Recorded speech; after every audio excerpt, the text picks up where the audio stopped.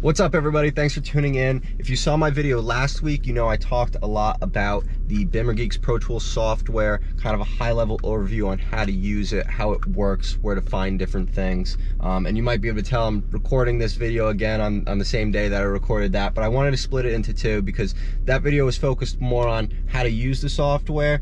And then today, this video is focused on actually using it and making changes, coding changes to your car to get the car to operate operate in a, in a different way than how it might have come from the factory, kind of customize it to your own personal taste and uh, get it to do some really cool things. So today we're talking about my favorite things that I've coded to this car, the best things that I've done, uh, things that I really kind of enjoy in my everyday driving with it. It's like all these little things that have made a big difference and kind of add up to, to make a different experience and kind of get rid of some of the, the little annoyances of the car and improve some of the things about it. So we're gonna dive into it and talk about a bunch of the things that I've coded to this car. So if you didn't see my video last week talking about the different tools that I'm using for this, quick overview how to use them, go check that out. But a quick recap, I'm using the MHD Wi-Fi adapter for the E-Series BMWs. I have this Amazon Fire tablet that I got for cheap. And I'm running the Bimmer Geeks Pro Tool software on the tablet to do all of the coding. If you're interested in any of this stuff, I will have it linked down in the description below where you can go check out where you can get it for yourself. So the first thing that I'm gonna show you that I've already coded to the car, but that I think is such a cool thing that you can do is the Euro spec adaptive headlight operations. Basically on the American cars, all the headlights can do is move up and down and level according to how the pitch of the road is up and down, and they move side to side according to the angle of your steering wheel. Again, if only if you have the adaptive headlights. But what you can do is you can enable the Euro adaptive headlight operation, which is really cool. I'll throw up a graphic that shows you exactly what it does, but it basically uses your speedometer to measure, to see how, how fast you're going and change the angles at which the headlights point according to that.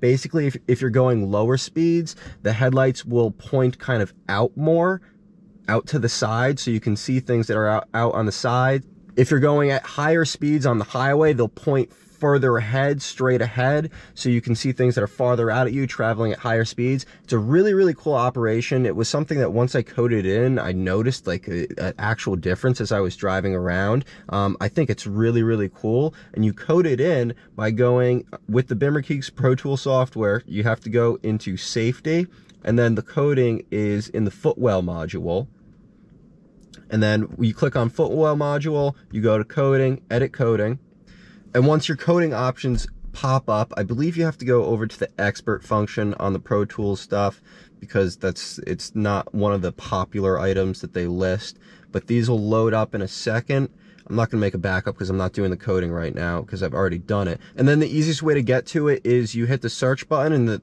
uh, one of the great things about the Pro Tools software is how you can search it. But you just do AHL2 and that's the code for it. And there it is. AHL2 enable. They don't have a description for it in the Pro Tools, but that's fine. All you have to do is hit down. Mine's already enabled but you would click enable and hit finalize. It'll code it to the car and you'll be good to go. It'll start operating like that as you're driving around. So again, that's a really, really cool one. How you know that that's working, and I'll put up a clip when you start the car, you'll see your headlights do their auto leveling thing, and then you'll see the driver side headlight start slowly angling and pointing out to the left side, and that's how you know that they're defaulting to the Euro spec headlight operation. The next one that I'll go through is another one that I found really helpful is the automatic headlight sensitivity. So I found on this car that the headlights would turn on when they're on the automatic setting. They would turn on when it was still perfectly bright out, and like the headlights would just be on. And it really doesn't matter, but I think the car looks better when it's just the daylight running lights with the angel eyes is on. So you can actually go in, change the coding to give you an option to adjust the sensitivity of when those headlights get turned on when they're in the automatic setting. So this one's a little bit more complicated because you have to code a few different things instead of just one. But basically what you're going to do is you're going to enable a menu in your cluster screen in order to adjust those settings. So how you do that is you go into interior and you go into cluster, which is the combi. And then again, you go to coding, edit coding. So these are the four things that you need to actually, it's actually five, that's my bad. There's five things that you need to code in. So it's this MMI ENA, MMI ENA RPA, uh, this German for light auto operation, something like that. You code these four things to active and I'll show you just the easiest way. I'll do the MMI ENA PIA. So again, the easiest way to do this is to search. I'm going to go to the standard section because I think that's where they are. Hit the search button, a little laggy, and then I'm just going to search for MMI. And look, there, MMI ENA PIA. RPA was the second one. So it would just be those two things. You would switch those to enable and then you would go and find the other three things and hit the, switch those to enable and hit finalize. It'll code those in. Once that is coded in you're going to go to your BC menu using the turn signal stalk. So you just flip this up and down to get into your BC menu.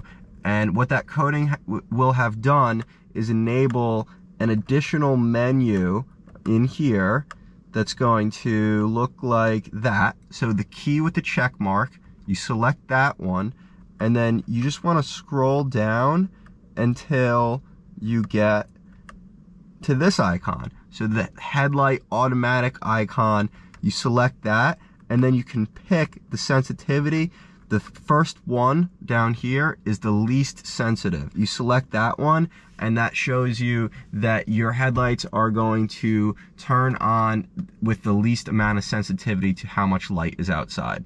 All right, so that one's been coded to the car. We're still in the Combi, the cluster module doing coding there. And you can see in the popular section, here's another very popular option. It's the digital speedometer. I currently, again, already have it enabled, but it's usually disabled on these cars. You just switch it enabled, finalize, and then you get your velocity. It says V equals, and then you get your actual digital speedometer, again, on that cluster screen. So you can have that directly in front of you instead of just having the analog gauge that's a really cool, really popular one that's also in the same section. So now we're gonna switch to a different module for some different options. We're gonna go to safety and we're gonna go to CAS, car access system. And again, we wanna edit the coding in here. And this is where another couple popular ones are. So comfort closing with the key and the fob. Basically what that does is it allows you to close the windows holding down the lock button on your key or if you were to insert the key into the actual slot on the door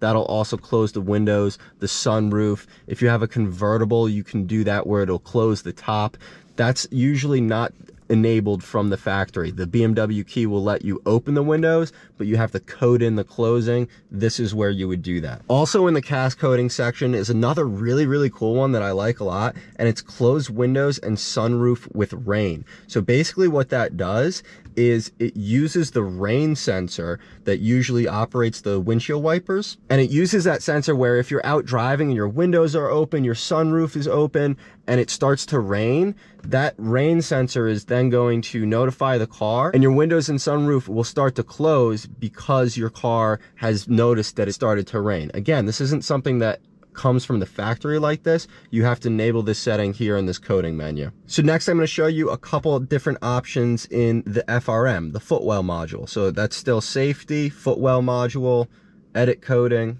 And when you get into the coding here, Big one, popular one, folding mirrors via fob. So again, this isn't something that comes from the factory with the car, but you can enable this option and you can fold your mirrors in when locking the car with the key, when locking with the comfort access, doing any sort of stuff like that, fold in the mirrors. I have it set up so there's a slight delay where I hold down the button for a second and then the mirrors close in. If I just tap it, the car would lock normally. Another cool one in here is fogs and high beams. So the car defaults that if you're driving around with your low beams on and your fog lights on, and then you turn your high beams on, your fog lights turn off. And then when you turn your high beams off, they'll turn back on. With this, you can enable it so those the fog lights are always on. Those are nice because they help see you kind of down low and out to the sides a bit more when you're driving at night. All right, and then the last one that I'm going to show for today is going to be in the entertainment section, and then it's going to be in the radio system You go to coding again, of course, edit coding. And this is where you can find a lot of things for the iDrive screen, a lot of the coding for that. So you can do video in motion here. So if you were to have something playing on there,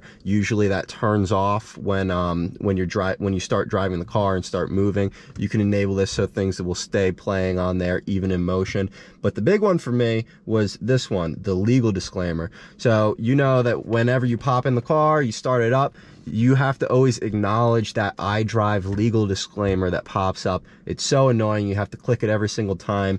You code in here and you disable that so that does not pop up any longer and your iDrive screen will go straight to this. It'll go straight to the main menu instead of having to click on that legal disclaimer every single time that you start up the car. So that about wraps up all the ones that I wanted to cover. That's a quick high level overview of just the, the most popular ones, the most common things that people code to the car, some things that I've found really nice to have coded to the car myself personally, um, and then also some really cool things like that, that Euro headlight thing.